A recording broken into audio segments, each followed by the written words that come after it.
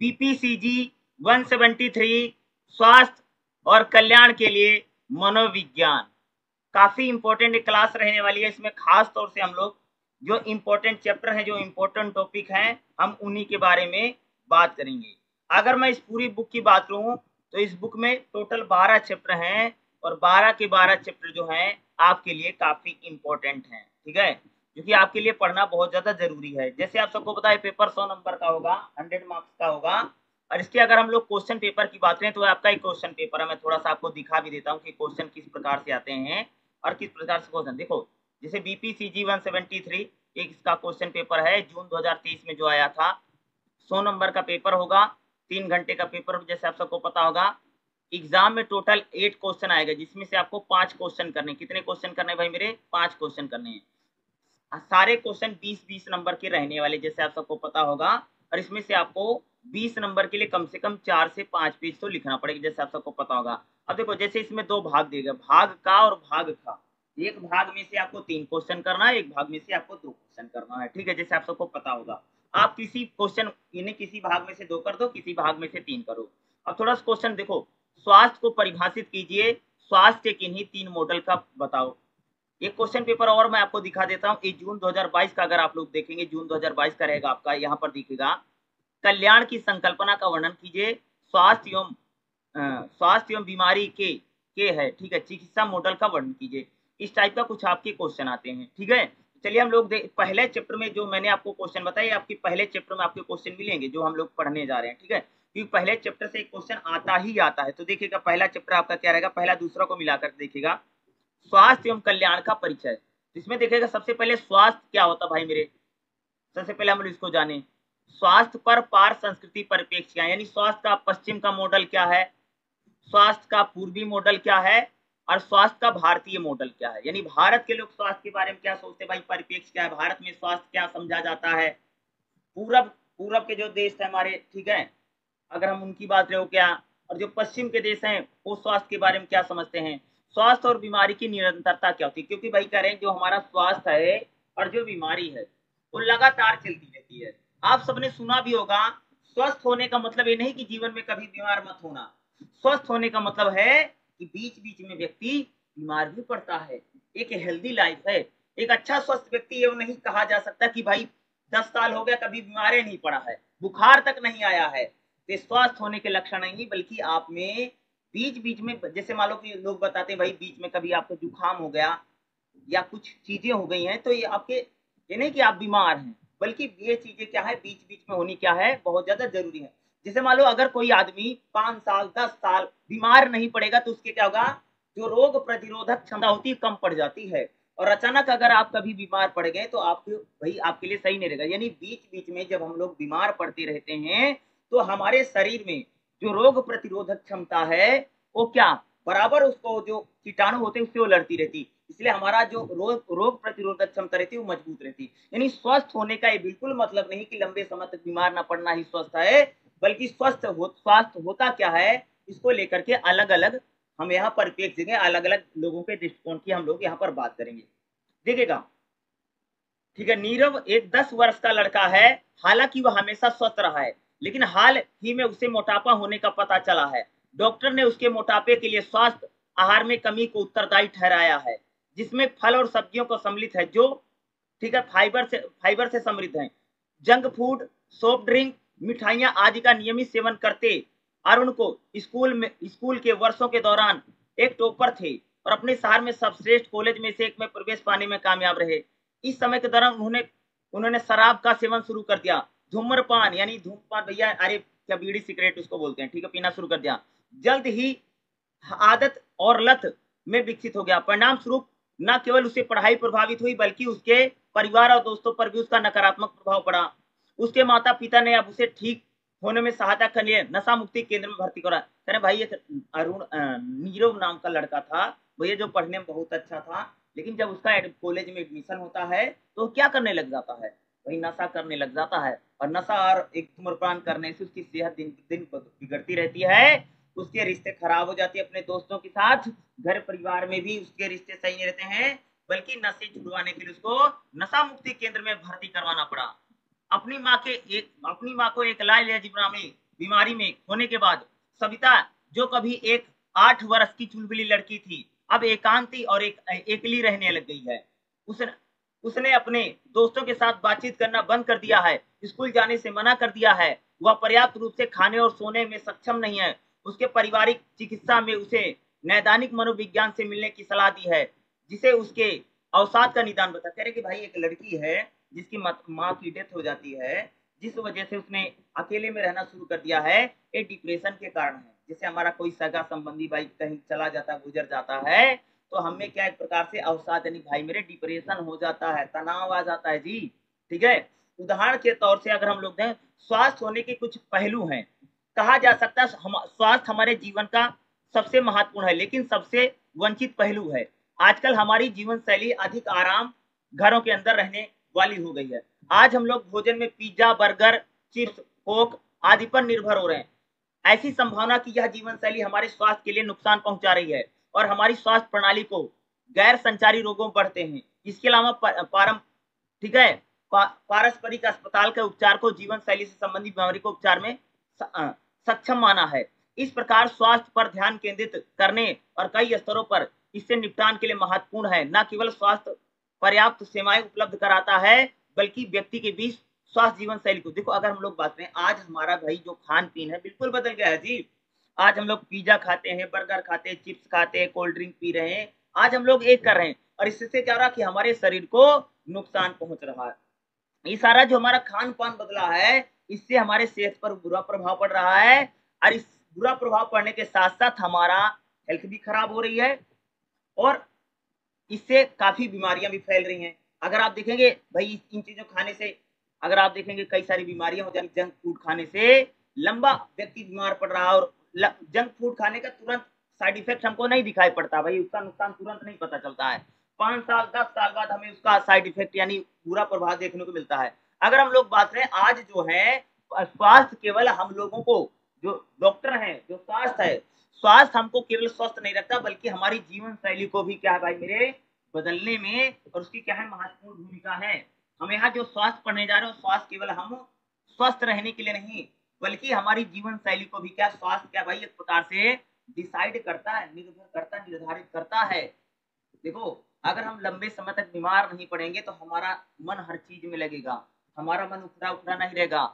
स्वास्थ्य, अगर कोई व्यक्ति, देखो, बीमार होने का मतलब ये नहीं कि बीमार हो जाओ और बुखार हो गया और इस बुखार है, बल्कि अगर कोई व्यक्ति अवसाद में है डिप्रेशन में है, चिंता में है, अगर आप शारीरिक रूप से ज़्यादातर लोग बीमार को सिर्फ़ शारीरिक रूप से मानते हैं बल्कि अगर हम लोग मानसिक रूप से भी बीमार कई बार होते हैं ऐसा कई बार होता कि अगर कोई व्यक्ति शारीरिक रूप से नहीं कई बार मानसिक रूप से व्यक्ति बीमार हो जाता है। इस, इस, इसको भी हम लोग बात करेंगे ये भी बीमारी है जी। ठीक है अगला देखिएगा। स्वास्थ्य को जनसाधारण लोग क्या सोचते हैं और समझते हैं? इसे समझने के लिए कई अध्ययन किए गए हैं। ठीक है? देखो ज़्यादातर लोग स्वास्थ्य को स्वास्थ्य को क्या समझते हैं? अलग अलग समझते हैं। स्वास्थ्य का अर्थ है कल्याण का सामान्य भाव। स्वास्थ्य की पहचान रोगों के लक्षणों का अभाव। भैया स्वास्थ्य स्वास्थ्य होने का मतलब क्या? हम लोग तो यही मानते हैं ना कि भाई, कोई व्यक्ति लंबे समय तक बीमार नहीं पड़ रहा है इसका मतलब क्या है? वह स्वस्थ है, वो सही है। स्वास्थ्य में देखा जा सकता है कि चीज़ें, जो कि एक व्यक्ति को, जो शारीरिक रूप से स्वस्थ, ऐसा करने में सक्षम है। स्वास्थ्य हम क्या भाई? जो व्यक्ति शारीरिक रूप से स्वस्थ है, हम उसे स्वस्थ मानते हैं। भाई, जो व्यक्ति लंबे समय तक बीमार नहीं पड़ा, वो स्वस्थ है। ठीक है? लेकिन अगर हम लोग स्वस्थ किसे कहते हैं? भाई मेरे, जो व्यक्ति स्वस्थ तो है, लेकिन कभी कभार वह बीमार भी पड़ जाता है। अगर आप लोग साल, दो साल में छह महीने में अगर आप कभी बीमार पड़ जाते हैं तो यह भी आपके स्वस्थ होने का लक्षण है। ये ये स्वस्थ बिल्कुल नहीं कि भाई पच्चीस, दस साल हो गया, पंद्रह साल हो गया, कभी बुखार ही नहीं आया है। तो स्वस्थ होने का लक्षण नहीं माना जाता। बल्कि स्वस्थ होने का लक्षण है बीच बीच में साल, दो साल में, महीने, छह महीने में आप हल्का फुल्का बीमार भी पड़ रहे हैं, ये भी एक स्वस्थ है। इस प्रकार अगर आप देखेंगे, स्वास्थ्य के तीन घटक हैं, जैसे भावना भावना, लक्षण, अभिन्यास और प्रदर्शन। एक अध्ययन में कह सकते, कहा गया था, पाया गया था कि 500 बुज़ुर्ग लोगों के अनुसार स्वास्थ्य, जीवन समर्थ और शारीरिक कार्य की क्षमता है। कई लोग कहते हैं, भैया स्वस्थ क्या है कि अगर आप लोग स्वस्थ हैं और आपका जो शरीर है, वो सक्षम है काम करने के लिए तो आप भाई स्वस्थ हैं। यानी आपको किसी प्रकार की कोई बीमारी नहीं है और आप हर काम को करने में सक्षम हैं, यही आपका स्वास्थ्य है। क्रॉस जे भी स्वास्थ्य को पहचानने के लिए, दायरे को समझने आने के लिए एक अध्ययन किया है। उन्होंने पाया कि पुराने प्रतिभागियों के लिए संदर्भ में दायरा स्वास्थ्य, समस्याओं अनुपस्थित और उपस्थित था, जबकि वह प्रतिभागियों के लिए स्वास्थ्य का व्यवहार, स्वास्थ्य को बढ़ावा देने वाला व्यवहार का दायरा है। यह अध्ययन बताता कि स्वास्थ्य का अर्थ बहुत ही व्यक्तिपरक है, या सामाजिक कारकों के साथ साथ बदलता करें भैया, स्वस्थ, स्वास्थ्य जो है, वह हमारे सामाजिक संबंधों पर भी निर्भर करता है, स्वास्थ्य जो है। और आयु वर्ग के साथ जो स्वास्थ्य है, वह बदलता रहता है। हर व्यक्ति के लिए स्वस्थ होने का, हर आयु वर्ग, भाई बीस साल का लड़का, उसके लिए स्वस्थ होने का मतलब कुछ अलग है। चालीस साल, पचास साल के लोग हैं, उनके लिए स्वस्थ, स्वास्थ्य अलग है। और कोई अस्सी साल के, सौ साल के व्यक्ति है, कोई बूढ़ा व्यक्ति है, उसके लिए स्वस्थ होने का मतलब अलग है। स्वास्थ्य को प्राप्त करने के लिए हेल्थ हेल्थ को प्राप्त प्रा, प्राप्त किया गया शब्द है। यह एक पुराना अंग्रेज़ी शब्द है जिसका अर्थ है पूरे होने की अवस्था। ठीक है? पांचवी शताब्दी ईसा पूर्व में परिभाषित। अंगों के सामंजस्यपूर्ण कामकाज यानी भाई स्वस्थ होने का मतलब क्या है? कि पहले कहा जाता था पांचवी शताब्दी में अगर आपके शरीर के अंग क्या भाई वीरे? अगर आपके शरीर के अंग सारे काम कर रहे हैं यही आप स्वास्थ्य है। आपका ये आपके शरीर में जितना अंग है, जितना बॉडी पार्ट है, वो सही से काम कर रहा थे किसी को क्या मान लेते भाई? स्वस्थ मान लेते थे। यह परिभाषा मुख्यतः स्वास्थ्य के शारीरिक पहलू पर ध्यान केंद्रित करती है, जिसमें शारीरिक अंगों के कामकाज के साथ साथ दर्द और आराम का अनुभव सम्मिलित है। देखो क्या है, जो स्वास्थ्य की परिभाषा की भाई आपके शरीर के अंग काम काम कर रहे हैं, अच्छे से चल रहे हैं, अच्छे से काम हो रहा है, यही अब इसे हम स्वास्थ्य समझते थे पहले। ये शारीरिक स्वास्थ्य है। लेकिन स्वास्थ्य के साथ, शारीरिक स्वास्थ्य के साथ साथ आपका मानसिक स्वास्थ्य भी जुड़ा हुआ है, ठीक है? जैसे हमारे, जैसे कहा गया कि हमारी जीवन शैली पर्यावरणीय कारकों में जलवायु उपस्थिति, वायु गुणवत्ता, जीवन शैली, आदत, पानी और भोजन की गुणवत्ता से भी स्वास्थ्य का वर्णन किया जा सकता है। भाई, हम जहाँ रह रहे हैं, वहाँ की हवा कैसी है? हमारी आदत कैसी है? हमारा हम कैसा पानी पी रहे हैं? हम कैसा खाना खा रहे हैं? यह भी हमारे स्वास्थ्य को डिसाइड करता है यह भी, ये भी हमारे स्वास्थ्य का कारण है, ठीक है?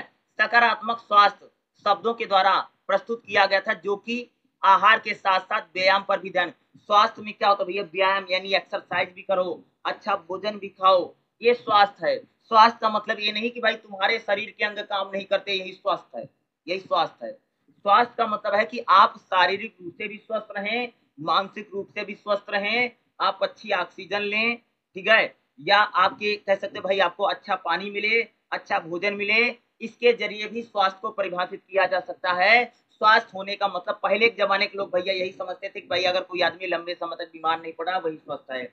अगर आपको अच्छी हवा नहीं मिलती, अच्छी भोजन नहीं मिलता अच्छा खाना नहीं मिलता है, तब भी आप स्वस्थ नहीं हैं। यानी आप हमारे स्वास्थ्य में भोजन, खाना, पानी हवा, हमारा रहन सहन, हमारा उठना बैठना, ये सारी चीज़ें जो होती हैं, हमारे स्वास्थ्य के साथ जुड़ी हुई हैं। स्वास्थ्य का मतलब एक कतई नहीं लगाया जा सकता कि भाई किसी के शरीर के अंग काम करें तो व्यक्ति स्वस्थ है, और कोई व्यक्ति लंबे समय तक बीमार नहीं पड़ा, वो व्यक्ति स्वस्थ है। स्वास्थ्य में हम लोग कह सकते कि अगर किसी व्यक्ति का भोजन सही है, वातावरण सही है पीने, पानी, पीने की पीने, पानी, यानी पीने का जो पानी है, उसका शुद्ध मिलता है ठीक है, एक अच्छा पानी मिलता है, उसकी आदतें सही हैं, उसका जीवन जीने का तरीका सही है, ये भी स्वास्थ्य में जुड़ा हुआ है। अगर आप मानसिक रूप से स्वस्थ हैं, तब भी स्वस्थ ही माना जाएगा। भाई, शरीर तो आपका सही है, लेकिन तुमको चिंता सताए रहती, तुम डिप्रेशन में रहते, तुम तनाव रहते तो स्वस्थ नहीं है। स्वास्थ्य जो होता है, वो शारीरिक और मानसिक दोनों प्रकार से होता है। बौद्धिक रूप से भी व्यक्ति का स्वस्थ होना क्या है? बहुत ज़्यादा ज़रूरी है। स्वास्थ्य में कह सकते ये सारी चीज़ें क्या है, आपस में जुड़ी हुई हैं, ठीक है? पहले लोग, पहले के लोग भाई समझते थे स्वास्थ्य को मतलब।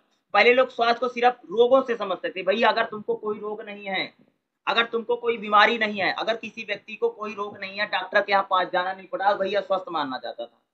अगर तुमको कोई बीमारी नहीं है, तब भी हम लोग उसको स्वस्थ मान लेते थे। भैया, जिसका शरीर सही है, ऐसे मानते थे पहले। लेकिन अब जो स्वास्थ्य की परिभाषा है, अब जो स्वास्थ्य होने का मतलब वो क्या है, पूरी तरह से बदल गया है। यानी आप शारीरिक के साथ साथ मानसिक स्वास्थ्य भी होना क्या है, बहुत ज़्यादा ज़रूरी है। यानी आपको अच्छी हवा मिल रही है अच्छा भोजन मिल रहा है अच्छा पानी मिल रहा है, आपकी अच्छे जीवन जीने का तौर तरीका है, इसके ज़रिए भी हम स्वास्थ्य को देखते हैं। यानी हमारा मान, शारीरिक स्वास्थ्य के साथ साथ हमारा मानसिक स्वास्थ्य, या हमारा आध्यात्मिक स्वास्थ्य, या हमारा बौद्धिक स्वास्थ्य भी होना क्या बहुत ज़्यादा ज़रूरी है। अब स्वास्थ्य में ये सारी चीज़ें भी को भी हम लोग क्या कर लेगा, जोड़ दिया है। पहले जो स्वास्थ्य की परिभाषा थी, आज की स्वास्थ्य की परिभाषा क्या है पूरी तरह से बदल चुकी है।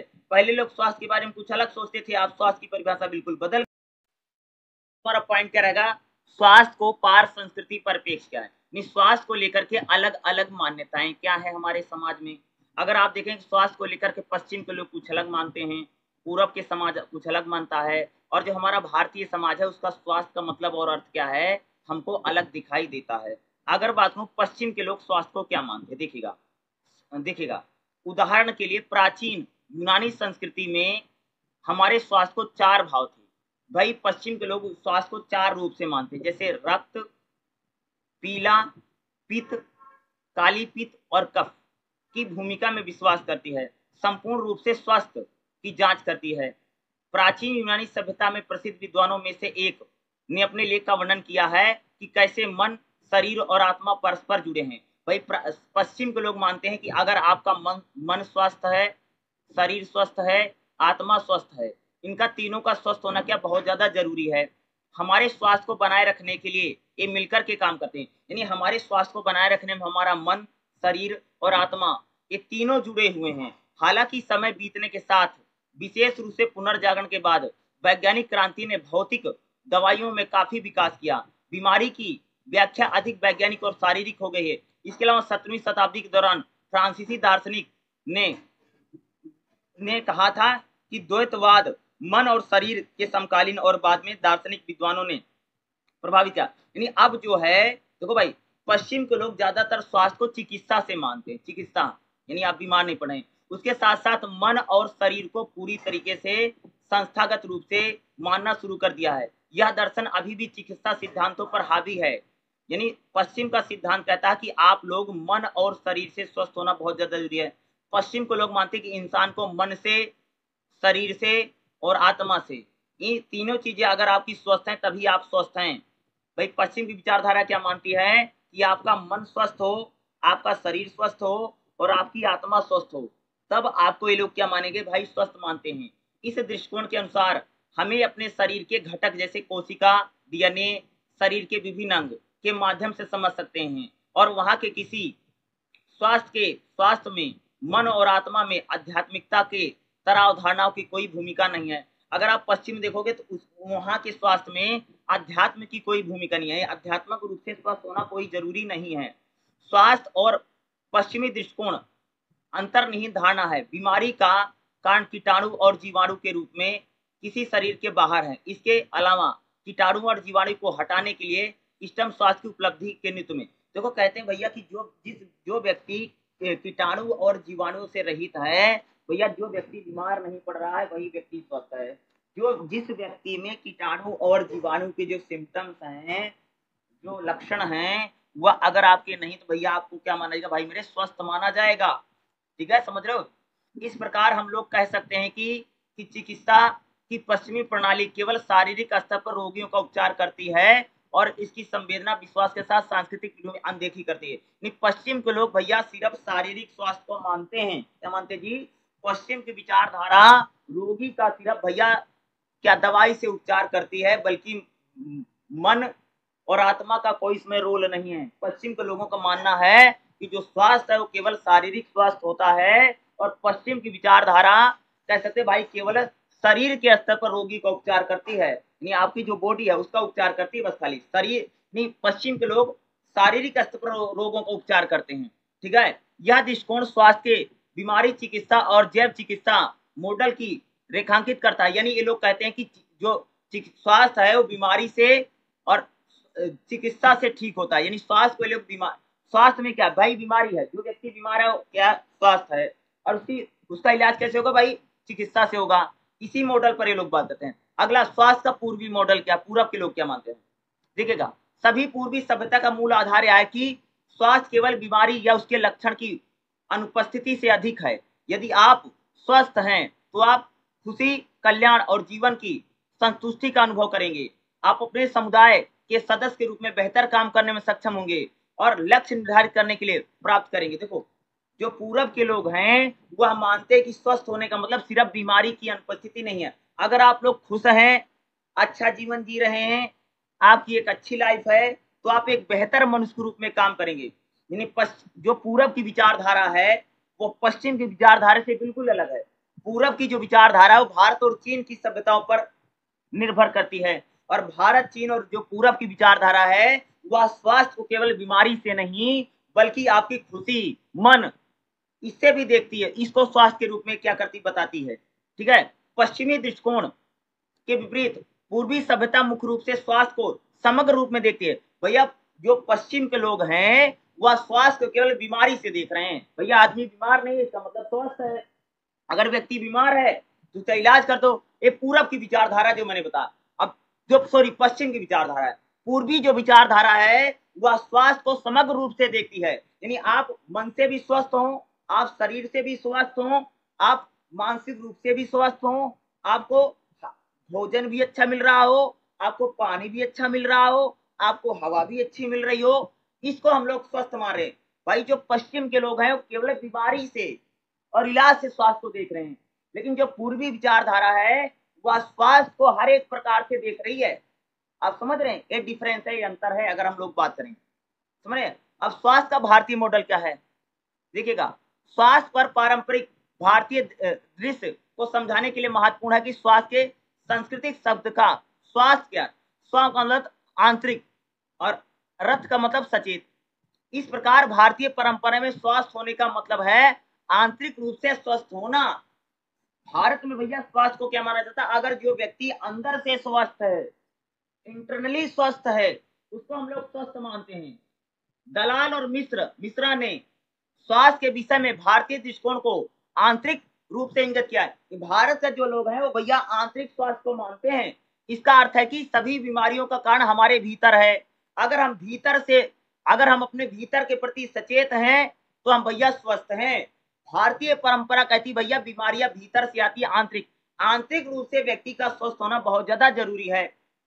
सभी पारंपरिक भारतीय प्रणाली आयुर्वेद पर सिद्धांत है। जो भारतीय जो स्वास्थ्य शारीरिक, मनोवैज्ञानिक दार्शनिक, नैतिक और आध्यात्मिक रूप के अध्यात्म के रूप में स्वास्थ्य को देखता है। भारतीय जो परंपरा है, वह स्वास्थ्य को शारीरिक, मनोवैज्ञानिक, दार्शनिक और नैतिक, इन सभी आधारों पर स्वास्थ्य को स्वास्थ्य की बात करती है। जो भारत के लोग हैं भैया स्वास्थ्य को आंतरिक, यानी इंटरनली आंतरिक रूप से स्वास्थ्य भारत में स्वास्थ्य को भैया शारीरिक रूप से भी स्वस्थ रहो, मनोवैज्ञानिक यानी मेंटली रूप से भी स्वस्थ रहो दार्शनिक रूप से भी स्वस्थ रहो, नैतिक रूप से भी स्वस्थ रहो और आध्यात्मिक रूप से भी स्वस्थ रहो। ये भारतीय परंपरा में स्वास्थ्य को बताया गया कि अगर व्यक्ति इन सभी चीज़ों में स्वस्थ है, तब हम लोग उसको स्वस्थ मानेंगे। ठीक है? स्वभाव, सद्भाव, विज्ञान, कल्याण का एक आवश्यक शर्त है।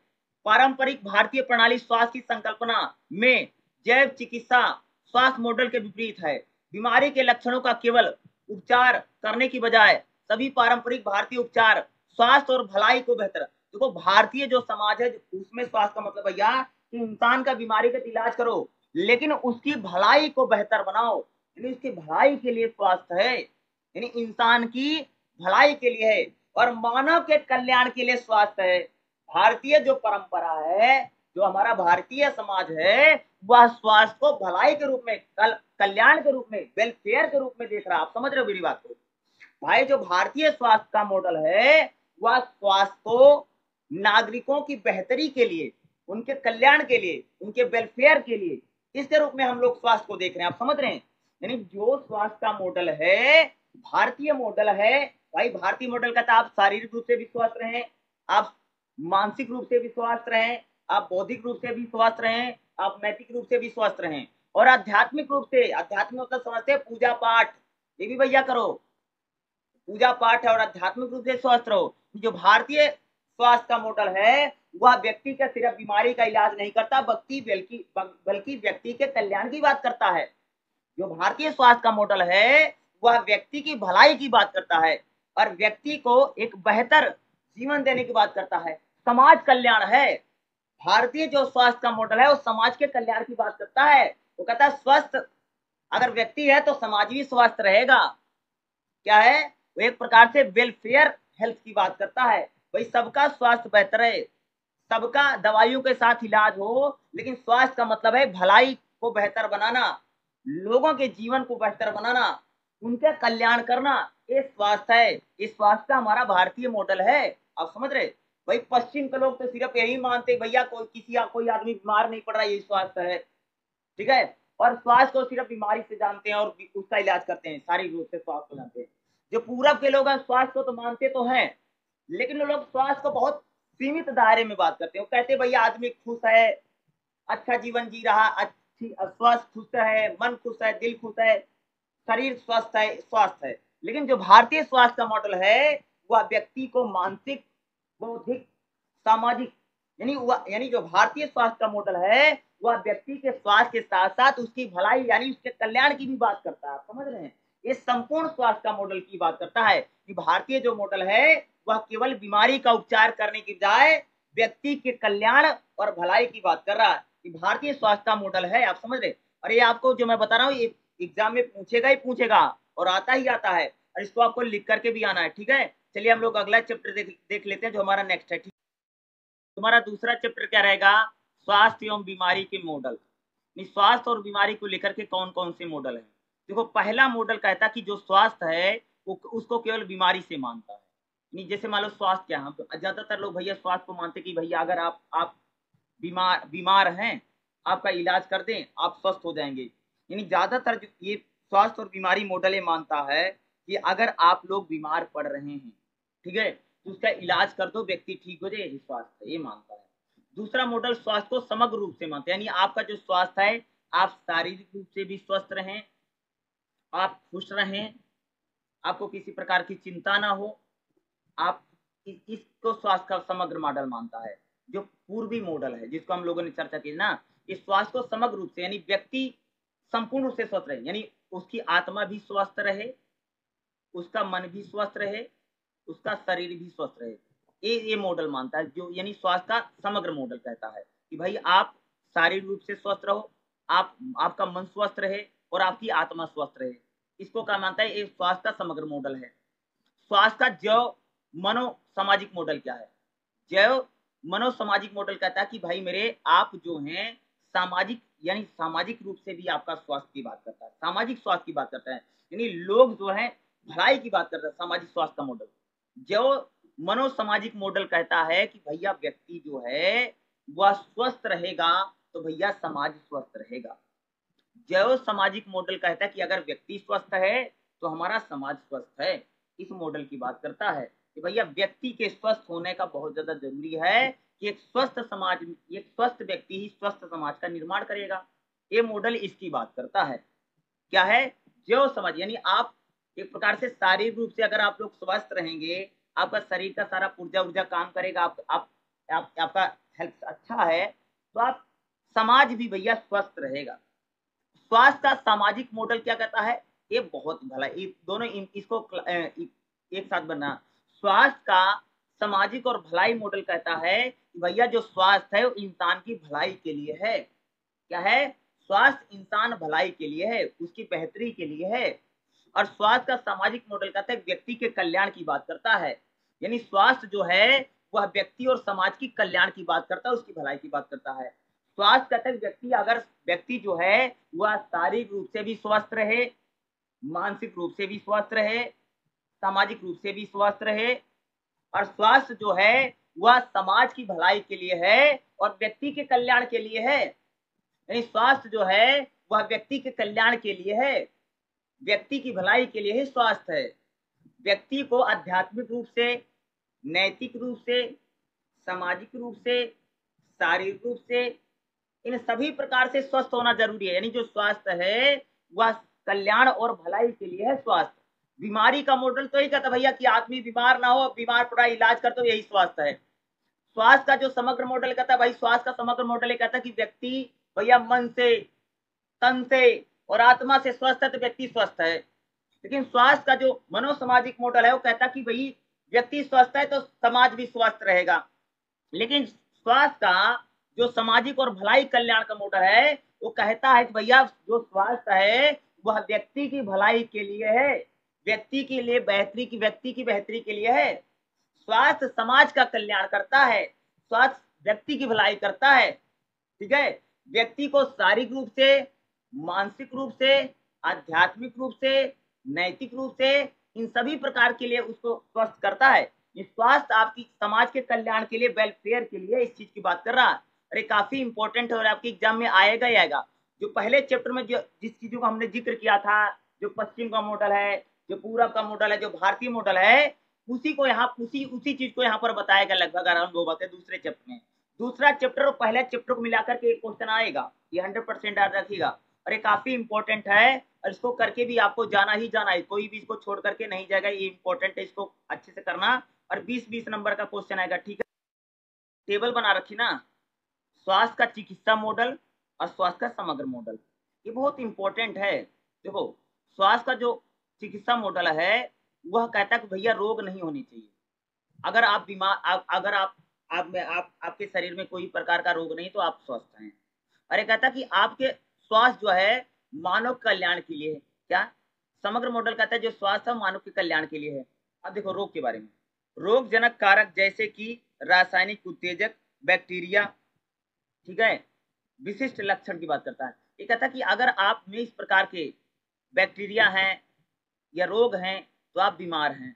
ये कहता है कि व्यक्ति उसके पर्यावरण और सामाजिक और मनोवैज्ञानिक, आध्यात्मिक आयाम के बीच की बात करता है। यानी स्वास्थ्य का जो समग्र मॉडल कहता है कि आप सिर्फ़ शारीरिक रूप से नहीं, बल्कि आप सामाजिक, मनोवैज्ञानिक और आध्यात्मिक रूप से भी आप बीमार पड़ते थे। स्वास्थ्य का लाभ क्या? शारीरिक लक्षणों का उपचार।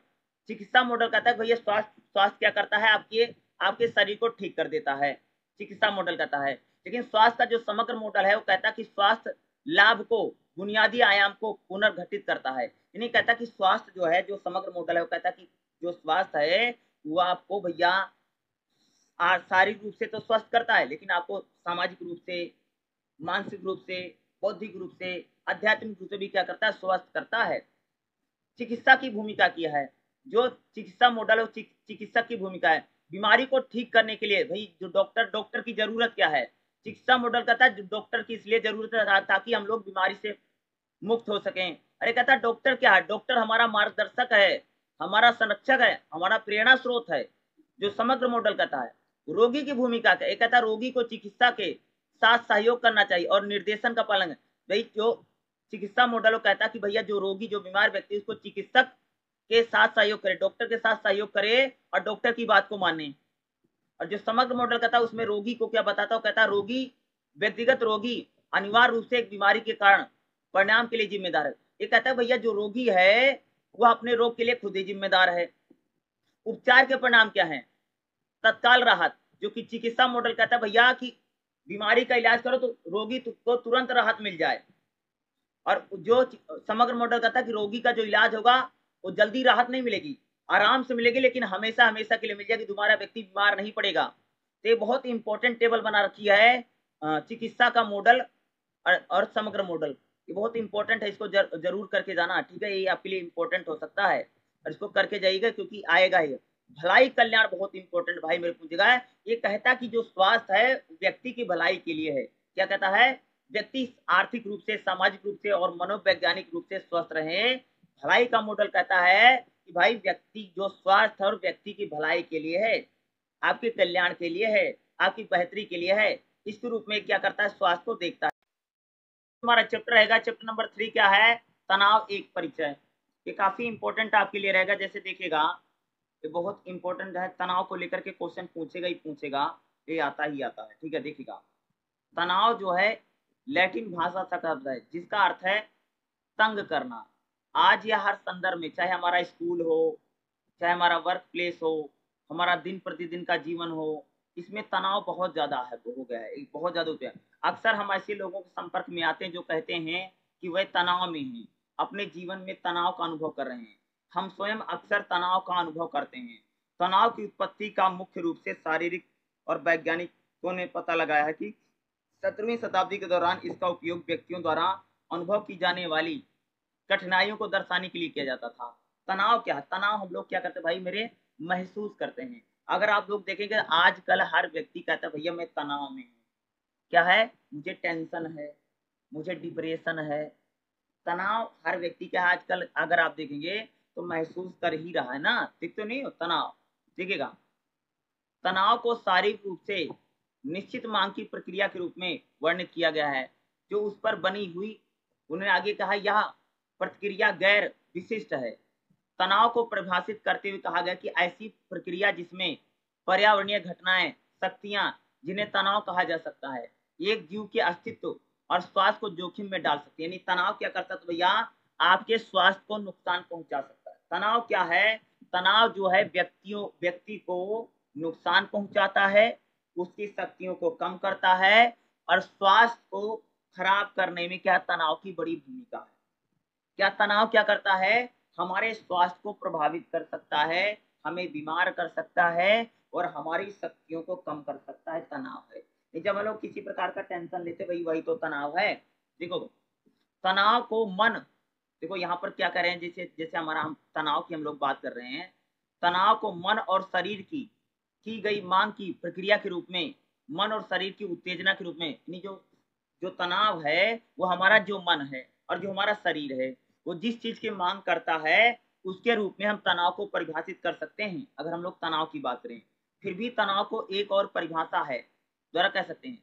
तनाव को व्यक्ति और पर्यावरण के बीच एक संबंध है, जिसका मूल्यांकन व्यक्ति द्वारा किया जा सकता है। तनाव को हम लोग कई प्रकार से क्या कर सकते हैं? परिभाषित करते हैं। तनाव आप कह सकते हैं, जो भाई व्यक्ति के स्वास्थ्य को प्रभावित कर सकते हैं। हम लोग जो टेंशन लेते हैं, तमाम सभी जो चीज़ें सोचते हैं, उसी को हम क्या करें? यहाँ पर तनाव के रूप में परिभाषित करें। तनाव की धारणा पर चर्चा करते समय तनाव तनाव कारक शब्द को भी समझना महत्वपूर्ण है। ऐसे किसी स्थिति, घटना, व्यक्ति, वस्तु में वर्णित किया जा सकता है, जो कि तनाव की प्रक्रिया की ओर ले जाती है। देखो, अगर हमारे साथ कोई घटना घट गई है, अगर हमारे साथ कोई ऐसी स्थिति सिचुएशन आ गई है, अगर कोई बात है, तब हम लोग तनाव में जा सकते हैं। यानी तनाव भाई मेरे, अचानक नहीं होता है, बल्कि तनाव होने के क्या है, कई सारे कारण हैं। क्या है? तनाव होने का कई सारे कारण हैं। आप समझ रहे हैं? तनाव व्यक्ति को अचानक से नहीं होता है। तनाव के पीछे कई कारण हो सकते हैं। आप हो सकता है आप शारीरिक आप शारीरिक रूप से तनाव में जा सकते हैं। आप मानसिक रूप से तनाव में जा सकते हैं। आप बौद्धिक रूप से भी तनाव में जा सकते हैं। तनाव का एक क्या आता है? एक कारण है। तनाव के कारक कारक क्या है? तनाव का भैया, जैसे मान लो ये भी हो सकता है कि आप, आपके जीवन में कोई घटना घट रही हो, जिस कारण से आपको तनाव हो सकता है। या आप शारीरिक रूप से स्वस्थ नहीं तो आप, आपको तनाव हो सकता है। आपकी भावनाओं को ठेस पहुँची तो आपको तनाव हो सकता है। जैसे भाई ये कोई छोड़ छाड़ कर चला जाता है डिप्रेस ये जिसमें क्या बोलते हैं जो लड़के लड़कियों होता है क्या बोलते हैं वो छोड़ जाते हैं ठीक है? अरे जो क्या हो जाता है जो रिश्ता टूट जाता है उसको बोलते हैं। उसमें तनाव हो जाता है ना? यानी अगर आप कर्तव्य आप यानी आपकी जो रिस्पॉन्स ज़िम्मेदारी है अगर आप ज़िम्मेदारी को पूरा नहीं कर पा रहे तो आपको तनाव हो सकता है। आपका जो उत्तरदायित्व है किसी के प्रति अब भैया आपका उत्तरदायित्व आपकी पत्नी के प्रति है, आपके बच्चों के प्रति है, उनके रिस्पॉन्सिबिलिटी को अगर आप पूरा नहीं कर पाएँगे, तब भी आपका तनाव हो जाएगा, ठीक है? आप अपने काम काम को लेकर के, स्कूल, कॉलेज की जो परिस्थितियाँ हैं, उस कारण से व्यक्ति में भाई तनाव हो सकता है। तनाव के बहुत सारे कारण हैं। जैसे हो नहीं जाता है, जैसे पति पत्नी में तलाक लड़ाई झगड़े इस कारण से तनाव हो सकता है, ठीक है? तनाव हमारे जीवन में जो घटनाएँ घट रही हैं, वो हमको तनाव में ले सकती भाई, आपके जीवन में कोई ऐसी सिचुएशन आ गई कोई घटना गई जिस आप तनाव में चले गए। अगर आप शारीरिक रूप से बीमार हैं, शारीरिक रूप से स्वस्थ नहीं है, तब भी आपको तनाव हो सकता है डिप्रेशन हो सकता है। आप अपनी ज़िम्मेदारी को नहीं निभा पा रहे हैं। आप अपने कर्तव्य, यानी आपके, आपको जो करना आप कर नहीं पा रहे हैं, तब भी आपको तनाव हो सकता है। अगर आपके मन के मुताबिक अगर कोई चीज़ नहीं हो रही है, अगर आपके मन का नहीं हो रहा तब भी आप में तनाव हो सकता है। तनाव के क्या है? बहुत सारे कारण हैं। तनाव का होने का कोई एक कारण डिप्रेशन भैया होने का कोई एक कारण नहीं होता तनाव होने के अनेक कारण होते हैं। कोई एक कारण दुनिया में है नहीं कि तनाव हो जाए जिस कारण से। तनाव की प्रकृति क्या है? देखो, तनाव तनाव जो है, नमक और काली मिर्च की तरह होता है। तनाव, देखो, तनाव होना भी ज़रूरी है, ज़्यादा तनाव होना चाहिए देखो, तनाव इतना हो ताकि आप भाई सतर्क रहें किसी चीज़ को लेकर के। अब तनाव इतना भी ले लो कि आप बीमार पड़ जाओ आपका हेल्थ खराब हो जाए, आप डिप्रेशन में चले जाओ, तनाव वह भी नहीं है। तनाव जो है, नमक और काली मिर्च की तरह होता है कि अगर अगर बढ़ गया भैया नुकसान कर देगा। अगर घट अगर बढ़ेगा, तब भी नुकसान करेगा। अगर तनाव बिल्कुल नहीं रहे, तब भी नुकसान करेगा। आप फिर आप किसी काम को नहीं कर पाएँगे। आप आप एक प्रकार से गैर जिम्मेदार व्यक्ति बन जाएँगे। आप समझ रहे हैं? तनाव होना भी ज़रूरी है। तनाव इसलिए होना ज़रूरी है कि ताकि आप सतर्क रहें ताकि आप अपने काम के प्रति जिम्मेदार रहें, आप अपनी जिम्मेदारियों को निभा सके, इसलिए तनाव होना ज़रूरी है। और तनाव इसलिए नहीं होना ज़रूरी कि आप इतना तनाव ना ले लें कि आप बीमार पड़ जाएँ किसी चीज़ को लेकर के। जैसे मान लो, भाई, आप तुम सब पेपर परीक्षा दे रहे हो, तुम सभी ग्लू का एग्ज़ाम दे रहे हो। भैया, तुमको चिंता करनी ज़रूरी, तनाव लेना चाहिए। तनाव इसलिए ले कि ताकि तुम लोग पढ़ाई करो, ताकि तुम लोग सतर्क रहो, ज़िम्मेदारी के साथ अपने एग्ज़ाम दो। अब इतना भी तनाव मत ले लो कि भाई अस्पताल में पहुँच जाओ, बीमार पड़ जाओ, हाथ कांपने लगे, बुखार चढ़ जाए। इतना भी तनाव लेना ज़रूरी है। तनाव कह सकते खाने में नमक और मिर्च की तरह है। नहीं जितना, यानी मीडियम में होना चाहिए। तनाव ज़्यादा हो गया, तब भी टेंशन है। तनाव कम हो गया, तब भी टेंशन है। जो आदमी बिल्कुल तनाव नहीं लेता, बिल्कुल टेंशन नहीं लेता, वो आदमी एक प्रकार से भाई निठल्ला हो जाता, नकारा हो जाता, वो कोई काम ही नहीं करता है। अगर किसी व्यक्ति ने ज़्यादा तनाव ले लिया, ज़्यादा टेंशन ले लिया तो भैया बीमार पड़ जाएगा, बहत्तर तरह की बीमारी हो जाती है, नींद नहीं आती, इस प्रकार की समस्या आ जाती है। ये तनाव की प्रकृति है। तनाव अच्छा भी है, तनाव खराब भी है। क्या? तनाव अच्छा भी होता है। एक अच्छा तनाव होता है, खराब तनाव होता है। इसकी हम बात करेंगे। देखो, तनाव के प्रकार क्या? तनाव तीन प्रकार का है। तनाव अच्छा हो सकता है। और यानी जैसे अगर आप लोग तनाव, जैसे शादी के बाद नौकरी करना चाहिए, सकारात्मक तनाव है। अच्छा तनाव क्या? कि भाई आप लोग अपने जिम्मेदारियों के प्रति सचेत रहें अच्छा तनाव है। जब तनाव ना सहयोगी हो ना हानिकारक हो तो इसको न्यूट्रल तनाव कहते हैं। यानी ना आपको ज़्यादा है ना कम है। ठीक है? ये न्यूट्रल तनाव होता है। ठीक है? इसको बोला जाता है कि तनाव सहयोग ना सहयोगी है और ना हानिकारक है। इसको हम न्यू, न्यूट्रस तनाव कहते हैं। यानी यानी तनाव जो है हमारे लिए अच्छा भी हो सकता है और हमारे लिए खराब भी हो सकता है। दोनों प्रकार का तनाव हो सकता है। आप समझ रहे हैं? तनाव अच्छा भी होता है अगर आप देखेंगे। जैसे मान लो भैया तुम लोग पढ़ाई कर रहे हो तो तो, तुमको थोड़ा बहुत तनाव लेना चाहिए। अगर तुम लोग बिल्कुल भी तनाव नहीं लोगे तो पढ़ोगे ही नहीं। समझ रहे हो? ठीक है? एक ये बता रहा है। समझ रहे हैं? तनाव अच्छा भी है और तनाव हमारे लिए सहयोगी भी हो सकता है और हानिकारक भी हो सकता है। आप समझ रहे सहयोगी कैसे होगा? जैसे मान लो तो आप थोड़ा बहुत तनाव लेंगे तो भाई आप सचेत रहेंगे अपनी जिम्मेदारियों के प्रति आप पढ़ाई लिखाई करेंगे। आप बिल्कुल तनाव नहीं लेंगे तो भाई हानिकारक बन जाएगा आपके लिए। ना? हानिकारक कैसे हो सकता? अगर आपने ज़्यादा तनाव ले लिया, ठीक है? तो कई बार हम लोग क्या करते हैं, ज़्यादा तनाव ले लेते हैं ना? देखा होगा ना, कई बार ज़्यादा तनाव ले लिया तो भाई आदमी बीमार पड़ गया, अस्पताल में पहुँच गया। और तीसरे टाइप का जो तनाव होता, सबसे खतरनाक होता जी, ज़्यादातर लोग आमतौर पर इसको तनाव से जोड़ते हैं। यानी ये ये व्यक्ति सबसे ज़्यादा तनाव करता है। जब हम लोग किसी चीज़ को लेकर के सबसे ज़्यादा सबसे ज़्यादा हो जाते हैं। सोचते हैं, टेंशन ले लेते हैं, फिर तनाव हमारे लिए भाई डिप्रेशन बन जाता है। ठीक है? ये तीसरे प्रकार का जो तनाव, जो सबसे ज़्यादा हानिकारक होता है, आगे आगे तनाव तनाव बनके का बनता है? डिप्रेशन में व्यक्ति चला जाता है। लंबे समय तक वो डिप्रेशन में डिप्रेशन में रहता है। ठीक है? तो तनाव अच्छा भी है, खराब भी है। तनाव के कौन कौन से लक्षण है? तनाव तीन प्रकार। शारीरिक तनाव होता है। शारीरिक तनाव क्या भैया? शारीरिक तनाव उसको हम लोग बोलते हैं। जैसे आपके आपके पेट में, पेट खराब हो गया है, सिर दर्द है माइग्रेन है, दर्द है, सीने में दर्द है, दिल की धड़कन धड़ धड़ दौड़ रही हैं, आपका मुँह सूख रहा है, आपके शरीर में तनाव, मांसपेशियाँ तन गई हैं, आपको बार बार संक्रमण हो रहा है, शारीरिक तनाव है। संवेगात्मक तनाव क्या होता है? संवेग यानी आप आप चिड़चिड़े हो गए हैं, ठीक है? आपको अकेलापन महसूस हो रहा है आप निराश हो गए हैं, आप अपने काम को सही से कर नहीं पा रहे हैं आए संवेगात्मक तनाव है। एक होता मनोवैज्ञानिक तनाव। मनोवैज्ञानिक तनाव में होता भैया आप चिंता कर रहे हैं। आप निरंतर सोचते रहते हैं। आपकी चिंता के कारण, यानी आप इतने ज़्यादा चिंतित है, अपने काम को भूल जा रहे हैं। आप किसी चीज़ पर ध्यान नहीं लगा पा रहे हैं। आप कोई डिसीज़न नहीं ले पा रहे हैं। आप में निराशा है, ये मनोवैज्ञानिक तनाव होता है। तनाव का व्यवहार था? अगर हम लोग तनाव लेंगे तो उससे क्या फ़र्क पड़ेगा? तनाव लेने से हमारी नींद खराब हो जाती है। कई सारे लोग तनाव होने से मादक पदार्थ दारू वारू पीने लग जाते हैं। तनाव लेने से हम बीमार पड़ सकते हैं। हमारी भूख कम या ज़्यादा हो सकती है। तनाव लेने से हम कई बार जल्दी जल्दी बोलने लग जाते हैं, कई बार जल्दी जल्दी खाना खाने लग जाते हैं। तनाव लेने से कई बार व्यक्ति गलत भी बोलने लग जाता है। तो तनाव के क्या है? व्यवहार में लक्षण आते हैं। जैसे कोई व्यक्ति जल्दी जल्दी खाना खा रहा है जल्दी जल्दी बोल रहा है या जल्दी जल्दी चल रहा है, यानी इसका मतलब क्या? व्यक्ति तनाव में है। ठीक है? हर व्यक्ति तनाव होने से भैया कई बार व्यक्ति टेंशन लेता तो नींद कम हो जाती है। कोई कोई तनाव लेगा तो भैया, तनाव टेंशन में रहता तो दारू पीने लग जाएगा, शराब पीने लग जाएगा, बीड़ी सिगरेट पीने लग जाएगा। कुछ लोग तनाव में रहते हैं तो भैया उनकी भूख बदल जाती है। कोई ज़्यादा खाने लग जाएगा, कोई खाना ही नहीं खाएगा। तनाव से कुछ लोग जल्दी जल्दी बोलने लग जाते हैं जल्दी जल्दी चलने लग जाते हैं। कुछ लोग गाली गलौज करने लग जाते हैं। ये सब क्या है? ये तनाव के अलग अलग कारण हैं।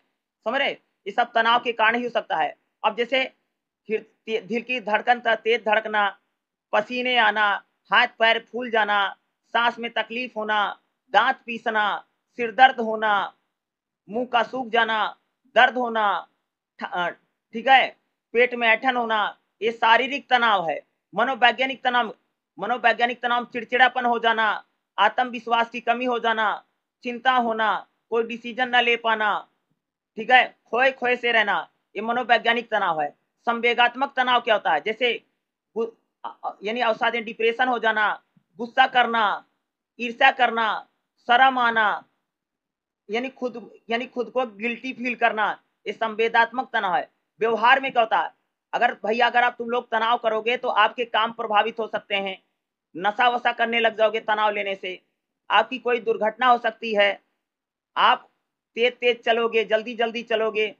आपकी भूख कम या ज़्यादा हो जाएगी, नींद का कम या घट जाना तनाव का कारण है। आप में डर बैठ जाएगा। भोजन करना या भोजन ना करना आपका समय खराब हो जाएगा। आप गाली गलौज कर सकते तनाव के कारण से व्यक्ति कर सकता है। ये क्या है? तनाव के लक्षण है।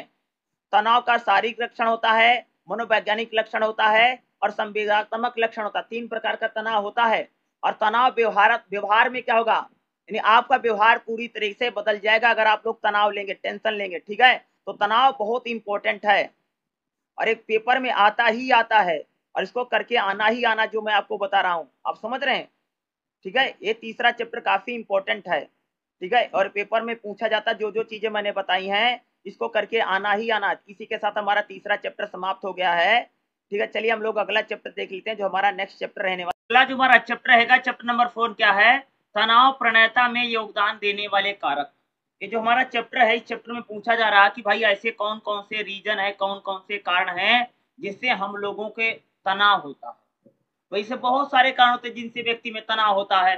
तनाव के अनेक कारण है। अगर आप देखें फोर पॉइंट टू में क्या है? तनाव की प्रणयता में योगदान देने वाले कारक कौन कौन से? ये इंपॉर्टेंट है। तनाव के मध्यस्थ कारक कौन कौन से? यानी खास तौर से तनाव में योगदान देने वाले कारक कौन कौन से? जैसे मान लीजिए कि भाई आपको तनाव हो रहा है तो किन कारणों से हो रहा है? उसका रीजन क्या है? उसका कारण क्या है?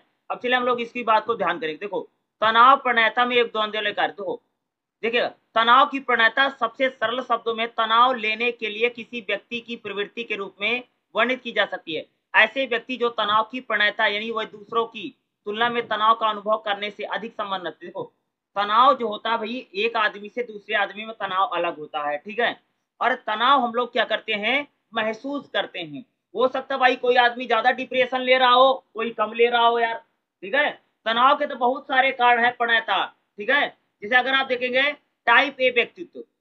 व्यक्ति के चिंतन, अनुभव अनुभव करने और व्यवहार करने की आदतों का अस्थायी प्रवृत्ति के रूप में कहा जाता है।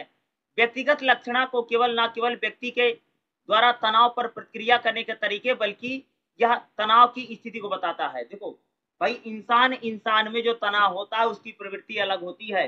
हो सकता हो किसी को एग्ज़ाम का तनाव ज़्यादा हो और कोई एग्ज़ाम व्यक्ति का तनाव ही नहीं ले रहा हो। ठीक है? देखे, देखते ले तुम लोग। कोई कोई स्टूडेंट इतना तनाव ले रहा है एग्ज़ाम का कि बेचारा हाथ काँप रहा है, परीक्षा में काँप जा रहा है और कोई बिल्कुल भी तनाव नहीं ले रहा है। तो व्यक्ति व्यक्ति में तनाव के अनुभव जो एक्सपीरियंस भैया अलग अलग होते हैं। हर व्यक्ति में तनाव बिल्कुल अलग होता है। हो सकता है किसी को एग्ज़ाम का तनाव ज़्यादा हो, किसी को कम हो। किसी को भैया शादी विवाह का तनाव ज़्यादा हो, किसी को कम हो। क्या होता है? यानी तनाव अलग अलग हर व्यक्ति में आपसे रहेगा। तनाव में क्या होता है कि अक्सर व्यक्ति तनाव के उच्च स्तर से जुड़ता है और इस प्रकार वह व्यक्तित्व वाले व्यक्ति में तनाव का अनुभव प्रकट करते देखो, जब हम लोग क्या किसी दूसरे व्यक्ति को देखते हैं अपने अकॉर्डिंग अनुभव, यानी जब हम लोग एक प्रकार से कंपेयर करते हैं, तब हमें तनाव ज़्यादा होता व्यक्ति में। जैसे मान लो मैं पढ़ाता हूँ, भाई और कोई भी पढ़ा रहा हो, ठीक है? उसके पास बहुत लोग पढ़ रहे हो, मेरे पास बहुत कम लोग पढ़ रहे हो। तो अगर मैं कंपेयर करूँगा, भाई वो उनके पास ज़्यादा आदमी पढ़ रहा है मेरे पास कम आदमी पढ़ रहा है तो भाई मेरे को तो तनाव हो जाएगा यार, समझ रहे हो? यानी कंपेयर करने से भी इंसान में भैया तनाव हो जाता है जी, ठीक है? आइए हम टाइप ए तनाव की बात करेंगे। उन कारणों में से हो सकता है जो व्यक्ति के तनाव के लिए अधिक प्रणयता बन सकते हैं। ऐसे कौन कौन से कारण जो व्यक्ति में जल्दी तनाव आ जाता है? जैसे व्यक्तिगत व्यक्ति अक्सर प्रतियोगिता पसंद करते हैं। वह अत्यधिक सतर्क होते हैं और पूर्णतावाद प्रदर्शित करते हैं। वह निश्चित समय सीमा के भीतर ही जितना संभव हो सके करते हैं, अधिक प्राप्त करना चाहते हैं। ऐसे व्यक्ति चिड़चिड़े होने की संभावना करे भैया कि जो लोग कंपटीशन करते हैं, जो लोगों में आगे जाने का जज्बा है, ठीक है? जो लोग दूसरों से अच्छा करने की कोशिश करते हैं, उन लोगों में चिड़चिड़ापन होने की संभावना है। जो व्यक्ति, चिड़चिड़ापन भी तनाव का एक कारण हो सकता है। भाई, जो आदमी बात बात पर नखरे कर रहा है बात बात पे गुस्सा कर रहा है, इसका मतलब धीरे धीरे भैया तनाव आ रहा है। जो लोगों, जिन लोगों में धैर्य की कमी है, आत्मविश्वास की कमी है, जो लोग जल्दी से गुस्सा हो जाते हैं, ये तनाव के कारण है। जल्दी से गुस्सा हो जाना चिड़चिड़ापन होना, किसी बात पर अत्यधिक गुस्सा करना, ये क्या है? तनाव के कारण है, तनाव का शुरुआती रीजन है। लेकिन अगर कोई व्यक्ति अपनी प्रतिष्ठा को लेकर के बहुत ज़्यादा अनसिक्योर फील करता भैया, मेरी तो इज़्ज़त चली जाएगी, जैसे बहुत सारे बच्चे हैं, पेपर देने जा रहे हैं, परीक्षा देने जा रहे हैं, भाई, पेपर में फेल होगा तो मेरी इज़्ज़त चले जाएगा। यानी हमें असुरक्षा है, यानी हम लोग खुद को सुरक्षित नहीं अनसेफ यानी अगर कोई व्यक्ति खुद को असुरक्षित महसूस कर रहा है, भैया तो क्या तनाव आ जाएगा? जैसे मान लो मैं प्रधानमंत्री हूँ, ठीक है? और भैया मुझे लग रहा है भगवान, क्या पता कोई आतंकवादी मुझे मार करके चला जाएगा। तो क्या है? मेरे को टेंशन हो जाएगा यार, तनाव हो जाएगा। तनाव का कारण क्या भाई? असुरक्षा। जैसे मान लो कोई लड़की है, रास्ते से जा रही है, और उसको लग रहा भैया रास्ते में कोई छेड़छाड़ देगा, कोई कुछ कर देगा तो लड़की में तनाव हो सकता है। आप समझ रहे हो? या कोई लड़की है, घर परिवार में कहीं आ रही है, जा रही है उसको भी अगर असुरक्षा की भावना अनसेफ फील कर रही है भैया तनाव हो सकता जो भी लोग अपनी सुरक्षा को लेकर के, मान मर्यादा को लेकर के, चार लोग क्या कहेंगे फेल हो जाएँगे पेपर में तो इस सारे कारण से भैया तनाव होता है। अगर हम असुरक्षा की भावना तो आपको भैया मेरे तनाव होगा ही होगा। दूसरा तनाव का, समय पर काम ना होना से तनाव हो सकता है। जैसे आपने भैया कोई काम ठान रखा हो यार, समय पर तात्कालिकता जो व्यक्ति, जो लोग समय पर काम करने की इच्छुक हैं, अगर उनका समय पर काम नहीं होगा तो तनाव हो जाएगा, टेंशन हो जाता है, जैसे मेरे को हो जाता है। अगर मुझे क्लास पढ़ानी है, और मुझे वीडियो बनाना अगर भाई लेट हो जाता लेट लेट हो जाता तो मुझे टेंशन हो जाता है।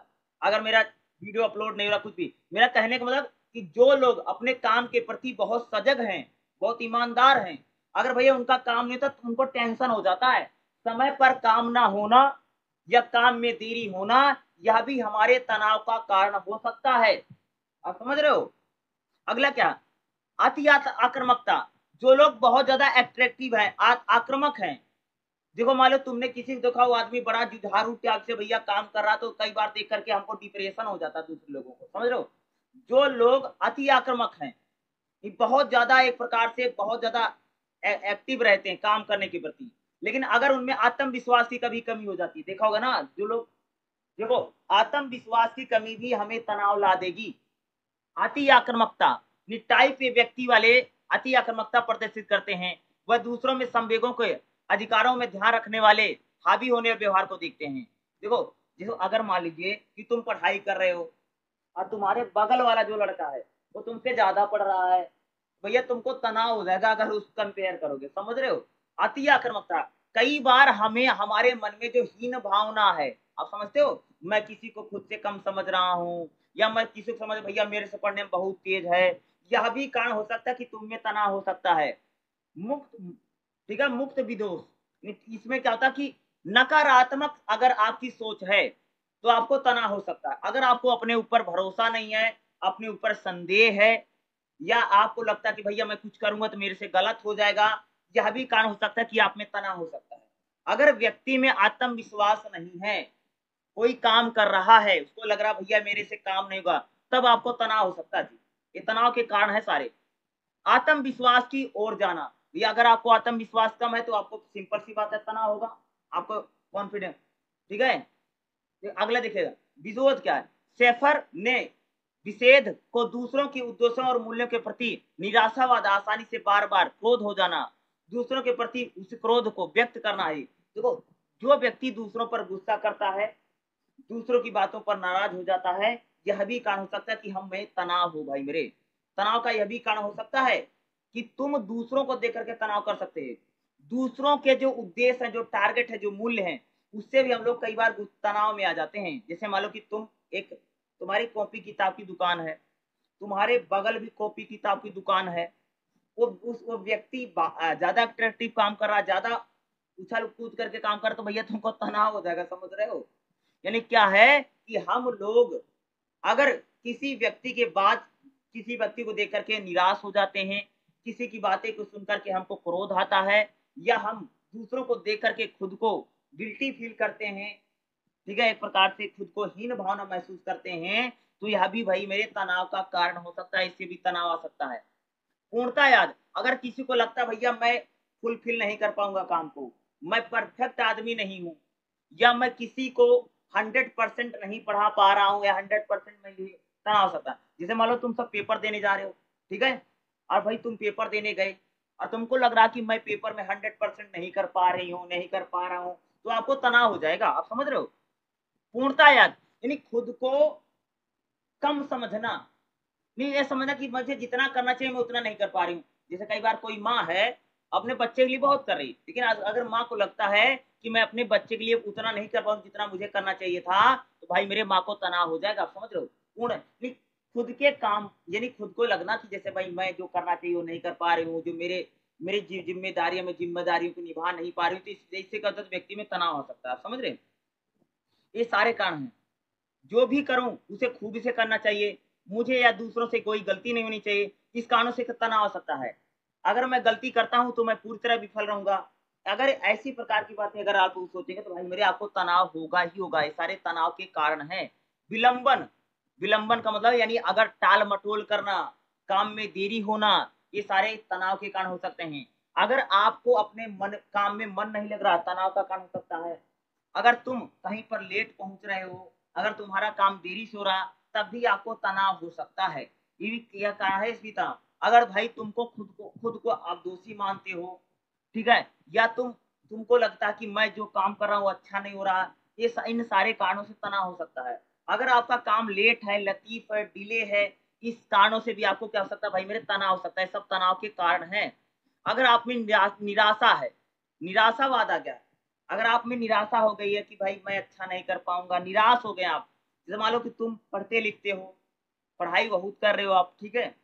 और भाई एग्ज़ाम की नौकरियों के फार्म आ रहे और नौकरी तुम्हारी लग नहीं रही, तुमको बहुत संघर्ष करना पड़ रहा है। ये भी तनाव का कारण हो सकता है। निराशा भी हमारे तनाव को कर सकती है। अगर हम किसी चीज़ को लेकर के निराश हो गए हैं, हताश हो गए हैं, निराश और हताशा भी क्या कर सकती है हमें? तो हमको तनाव में कर सकती है।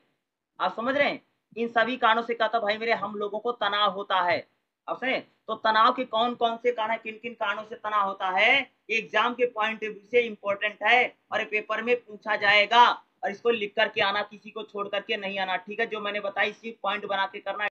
देखिएगा, अगला जो हमारा चैप्टर रहेगा, क्या है? तनाव के प्रभाव। भाई हमारे अगर हम लोग तनाव लेंगे तो हमारे हमारे ऊपर क्या क्या प्रभाव पड़ेगा? सबसे पहले हमारे स्वास्थ्य पर प्रभाव पड़ता है तनाव का। दूसरा, हमारे प्रदर्शन पर। जैसे हम कोई नौकरी करते हैं कोई काम करते हैं तो तनाव लेने से उस पर भी प्रभाव पड़ेगा। तीसरा, हमारे संबंधों पर। जैसे पति पत्नी के संबंध है भाई बहन का संबंध है, जैसे मान लो आप एक लड़की हैं, ठीक है? तो आपकी शादी हो गई है तो अगर आप लोग तनाव लेंगी तो क्या होगा? आपके जो मैरिड लाइफ उस पर प्रभाव पड़ेगा। नहीं, तनाव का प्रभाव कहाँ कहाँ पर पड़ता है? स्वास्थ्य पर सबसे पहले पड़ता है। जी, अगर हम लोग तनाव लेंगे आप समझ लो स्वास्थ्य पर प्रभाव पड़ सकता है। स्वास्थ्य का तनाव यानी तनाव का स्वास्थ्य पर सबसे पहले प्रभाव पड़ता है। अगर आप लोग तनाव लेंगे तो भाई आपको स्वास्थ्य पर क्या प्रभाव है? आपको दर्द हो सकता है, आपको पीड़ा हो सकती है, आपको ब्लड प्रेशर बढ़ जाएगा, आपको मधुमेह हो जाएगा, ये सारे क्या? ये सारे तनाव लेने का कारण से बीमारी हो सकती है। यानी अगर आप लोग तनाव लेंगे तो इस प्रकार की बीमारियाँ, इस प्रकार के रोग आप पर हो सकते तनाव से व्यक्ति के स्वास्थ्य पर सबसे ज़्यादा प्रभाव पड़ता है। भाई आपको हृदय रोग हो सकता है, ठीक है? दिल की धड़कन बढ़ सकती है हार्ट अटैक आ सकता है अगर आप लोग तनाव लेंगे। आपके सर में दर्द होगा, आपको पीड़ा होगी, आपको अल्सर हो सकता है, ब्लड प्रेशर हाई हो सकता है, मधुमेह बीमारी, मधुमेह टाइप की बीमारी हो सकती है अगर आप लोग तनाव लेंगे तो आपके स्वास्थ्य पर यह प्रभाव करेगी। अगर आप लोग तनाव लेंगे तो तनाव लेने से क्या होगा? आपके हृदय संबंधी विकार आ जाएगा। जब आप तनाव का अनुभव करेंगे तो आपके शरीर पर परिवर्तन परिवर्तन प्रभाव पड़ेगा। आपकी दिल की धड़कन बढ़ जाएगी और आपका ब्लड प्रेशर हाई हो जाएगा। और ब्लड प्रेशर हाई होने से आपको तमाम तरह की समस्याएँ और तमाम तरह की आपको बीमारियाँ सता सकती हैं। यानी अगर हम लोग तनाव लेंगे तो उससे हमारा उच्च रक्तचाप हो जाएगा ब्लड प्रेशर बढ़ सकता है और हार्ट अटैक का खतरा हो सकता है। हमारे गुर्दे पर इसका बुरा प्रभाव पड़ सकता है। अगर हम लोग तनाव लेंगे तो हमारा जो गुर्दा है, क्या होगा भाई मेरे? हमारे गुर्दे पर इसका क्या होगा? बुरा प्रभाव पड़ेगा गुर्दे पर, फेफड़े पर, सब पर बुरा प्रभाव पड़ता है। तनाव लेने से व्यक्ति को कैंसर भी हो सकता है। क्या जी? अगर हम तनाव लेंगे तो कैंसर भी हो सकता है। तनाव व्यक्ति में एक प्रकार से कैंसर का भी कारण हो सकता है। आपको माइग्रेन हो सकता है। आपका इतना सर दर्द होगा कि आपको भैया मेरे सर फटवट सकता है अगर आप लोग तनाव लेंगे। तनाव से हो सकता आपको, यानी तनाव लेने से आपको एक प्रकार से कहता तनाव एक प्रकार से आपको डिप्रेशन में ले जा सकता है। आप लंबे समय तक बीमार पड़ सकते हैं। आपको तमाम तरह की बीमारियाँ हो सकती है। तनाव का प्रकार से आपका शारीरिक लक्षण है, तनाव अगर आप लेंगे तो तनाव जो लोग लेते हैं भैया आगे चल करके नशीली दवाओं का सेवन करने, जो लोग देखा होगा बहुत सारा टेंशन फेंशन लेते हैं, वो शराबी वराबी बन जाते ना। जो व्यक्ति तनाव लेगा, नशीली दवाओं का सेवन कर, शराब पीना ठीक है, शराब पीना, दारू पीना, गांजा पीना, भाँग पीना, ठीक है, इस प्रकार के कांड करने लगते हैं। यानी जब व्यक्ति तनाव लेता है, तब उसको कई प्रकार की वो नशाखोरी करने लग जाता है। ये सब तनाव का व्यक्ति के स्वास्थ्य पर प्रभाव पड़ता है, तनाव लेने से। अगला की तनाव लेने से हमारे उत्पादन पर प्रभाव पड़ेगा। यानी अगर आप कोई नौकरी चाकरी कर रहे हैं तो अगर आप लोग तनाव लेंगे तो उस पर भी आपका बुरा प्रभाव पड़ेगा। जैसे मान लो, भाई मेरे तुम कोई नौकरी करते हो, और तुम ज़्यादा अगर टेंशन लोगे, तनाव लेगे तो तुम्हारा काम खराब हो जाएगा। तुम सारा दिन चिंता में घूमते रहोगे तो क्या काम करोगे बताओ? क्या है? तनाव का हमारे काम काज पर बुरा प्रभाव पड़ता है। अगर आप लोग लंबे समय तक अगर आप तनाव में रहेंगे तो आपका काम काज अच्छे से नहीं हो पाएगा। ना तो आप टाइम पर आएँगे, ना तो आप टाइम पर जाएँगे।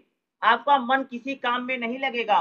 और जब आपका मन किसी काम में नहीं लगेगा, तनाव होने से तो आपका जो काम है अच्छा नहीं होगा।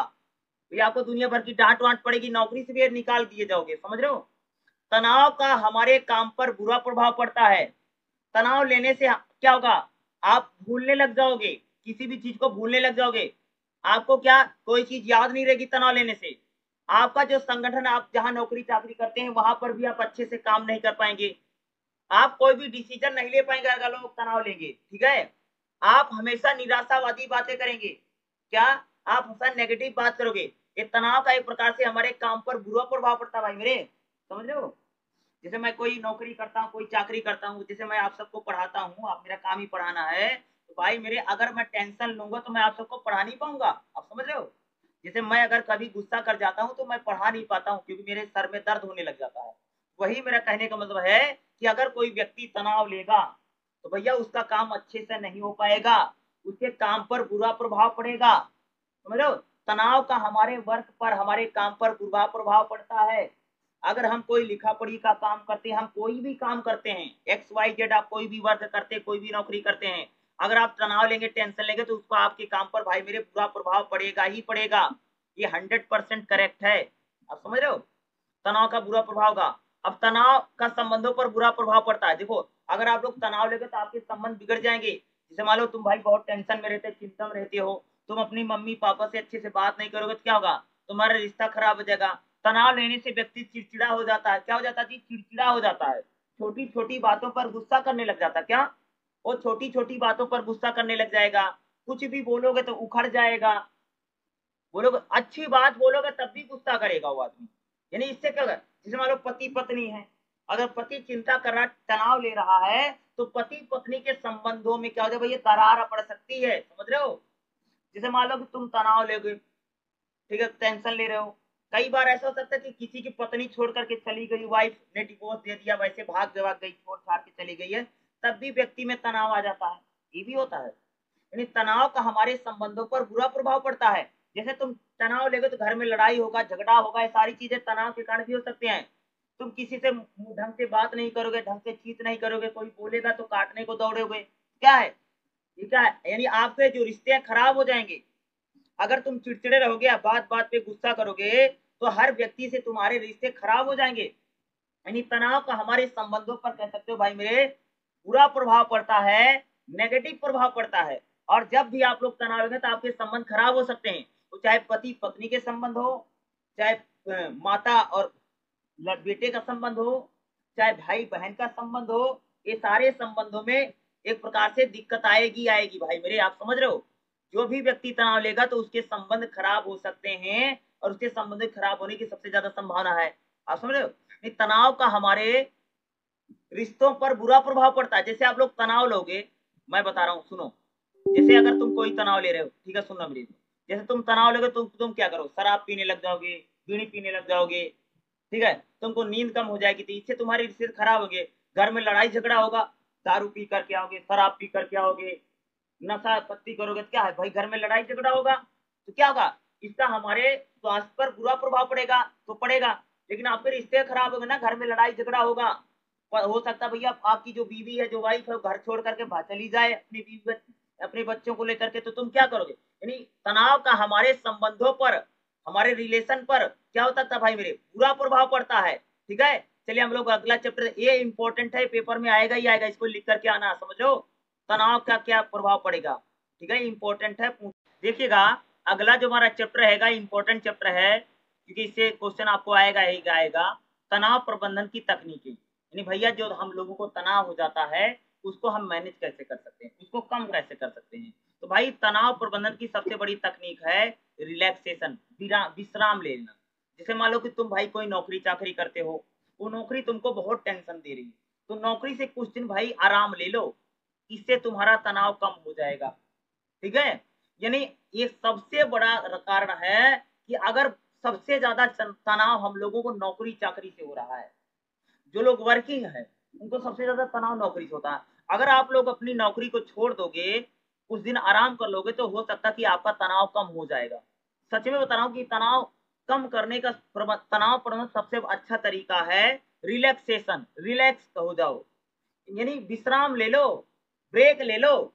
भाई, जो आदमी काम कर रहा हो, नौकरी कर रहा हो, मान लो तुम दस साल से नौकरी करे जा रहे हो, डेली आ रहे हो, जा रहे हो, वही काम कर रहे हो। तो अगर आप लोग रिलैक्सेशन यानी अगर आप लोग ब्रेक ले लोगे, थोड़े दिन छुट्टी ले लोगे तो हो सकता कि आपको अपने, आपके तनाव में कमी आ सकती है। जो हो सकता कि आपका ब्लड प्रेशर बढ़ गया हो, आप हमें, आपको नींद आनी बंद हो गई हो, हमेशा चिंता रहती हो तो सारी चिंताएँ, सारी टेंशन कम हो जाएँगी अगर आप लोग ब्रेक ले लोगे। खुद को रिलैक्स फील करो। काम को थोड़े दिन के लिए रोक दो। ये क्या है? तनाव को कम करने का सबसे अच्छा तरीका है। क्या है? या तनाव को कम करने का सबसे अच्छा और सबसे बेहतरीन तरीका भाई, अगर किसी व्यक्ति को तनाव हो रहा है तो इस तरीके से हम लोग क्या कर सकते हैं, अपने तनाव को कम कर सकते हैं। दूसरा तरीका है ध्यान। अगर आप मेडिटेशन इसको बोलते हैं, काफ़ी लोग इंग्लिश में मेडिटेशन बोलते हैं, ध्यान लगाना। जैसे आप लोग देखते हैं कि बैठ जाओ, आप आँखें अपनी बंद कर लो और अपना ध्यान लगाओ। इससे भी हमारा तनाव कम हो सकता है कि अगर हम लोग खास तौर से ध्यान लगाएँगे मेडिटेशन करेंगे तो मेडिटेशन भी हमारे तनाव को कम कर सकता है, ध्यान लगाना। जैसे पहले ऋषि मुनि भाई बैठ जाते थे तो ध्यान लगाते थे। यानी एक ही चीज़ पर अपना ध्यान केंद्रित करने ध्यान लगाने से भी हमारा तनाव क्या हो सकता है? कम हो सकता है। और मेडिटेशन एक ऐसी तकनीक है, जो हमारे तनाव को क्या कर सकती है? काफ़ी हद तक कम कर सकती है। क्या कर सकती है जी? तनाव को काफ़ी हद तक ये क्या कर सकती है? कम कर सकती है ध्यान लगाने से।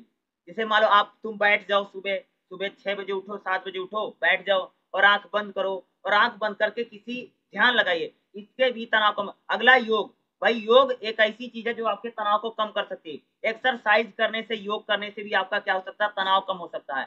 अगर आप लोग एक्सरसाइज करेंगे, योग करेंगे, जैसे सूर्य नमस्कार एक चीज़ है, सूर्य नमस्कार। सूर्य नमस्कार करने से भी आपका क्या हो सकता है? भाई, तनाव कम हो सकता है। योग करने से, यानी योग एक ऐसी चीज़ है जो आपके तनाव को कम कर सकती है। आप मॉर्निंग में उठिए, सुबह उठिए, आप योग करो, प्राणायाम करो, ध्यान करो, ठीक है? आप इस प्रकार से करने से आपका क्या हो सकता है? तनाव कम हो सकता है, ठीक है? ये सारे कारण क्या? तनाव को कम करने के तरीके हैं, ठीक है? और आप दूसरों से कंपैरिजन करना छोड़ दो, इससे भी आपका तनाव कम हो जाएगा। ज़्यादातर लोगों को जो तनाव है भैया, एक दूसरे से हम लोग कंपैरिजन कर रहे हैं, अपनी तुलना कर रहे हैं। आज ज़्यादातर लोगों जो तनाव है, किस कारण से हो रहा है? कंपेरिजन करने से। तुम अपना कंपेरिजन करना, किसी से बंद कर दो, तुम्हारा तनाव दो दिन में खत्म हो जाएगा, आप समझ रहे हो? तनाव जो हम लोगों को हो रहा हम लोग कंपेरिजन करते हैं, ठीक है? और हम लोग हमेशा दूसरों से अपनी तुलना कर रहे हैं कि भैया वो आदमी ऐसे कर ले रहा, मैं नहीं कर पा रहा हूँ, वो आगे बढ़ जा रहा, मैं नहीं बढ़ पा रहा हूँ। इन कारणों से भी हम लोगों को क्या होता है, भाई, मेरे तनाव होता है, ठीक है? अगर हम लोगों में, हमारा अगर आप लोग अपना स्वास्थ्य अच्छा रखो खान पीन अच्छा रखो सही टाइम से खाना खाओ, सही टाइम से उठो सो तो आपका तनाव कम हो सकता है। ज़्यादातर लोगों को आज आज जो तनाव हो रहा है, कम सोना, ज़्यादा काम करना, नींद का कम होना भी तनाव का बहुत बड़ा कारण है। जैसे मेरे जैसे लोगों में कह सकते भाई नींद ही कम लेते हैं। आप समझ रहे हो? अब मैं आपको साढ़े बारह, एक बजे मैं क्लास पढ़ा रहा हूँ रात को। ऐसे मेरा डेली की काम है करने का। ठीक है? तो क्या हो सकता है? मेरे को तनाव होगा ही होगा सिंपल सी बात है टेंशन तो होगी होगी। आप समझ रहे हो? कि हम लोग इतना नींद ही कम कर दिए हैं। जैसे मैं अपनी नींद की बात मैं बहुत कम सोता हूँ, ठीक है? अभी मैं आपको लगभग साढ़े बारह, एक डेढ़ बज जाएगा क्लास पढ़ाते हुए, और फिर मैं जाकर के भाई वीडियो एडिट होगी तो आपके लिए वीडियो अपलोड होगी, और सोते सोते टाइम हो जाएगा, फिर मुझे छह बजे, फिर सात बजे क्लास पढ़ानी, कल पेपर है। तो क्या है, नींद कम लेना भी आपके तनाव को कम, तनाव का कारण है। इसलिए हमें अगर हम लोग पूरी नींद लेंगे सही टाइम से सोएँगे, सही टाइम से उठेंगे, ये भी हमारे तनाव को कम कर सकती है। इसके ज़रिए भी हम अपना तनाव प्रबंधन कर सकते हैं। आप समझ रहे हैं? इसके ज़रिए हमारा क्या सकता तनाव कम हो सकता है भाई मेरे। इसके ज़रिए भी आप तनाव कम कर सकते हैं। तो तनाव को कम करने के कारण है। तो आप लोग पेपर में इसी प्रकार से आप बहुत सारे तरीके बता सकते हैं, जिन तरीकों से हम लोग क्या कर सकते हैं, अपने तनाव को कम कर सकते हैं।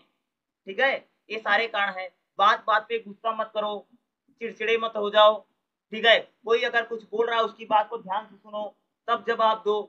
ठीक है? ऐसा नहीं बीच में बोल पड़ोगे। इन सब सारे कारणों से तनाव होगा। किसी से लड़ाई झगड़ा मत करो, क्योंकि लड़ाई झगड़ा करने से हम लोगों को ज़्यादा तनाव होता है।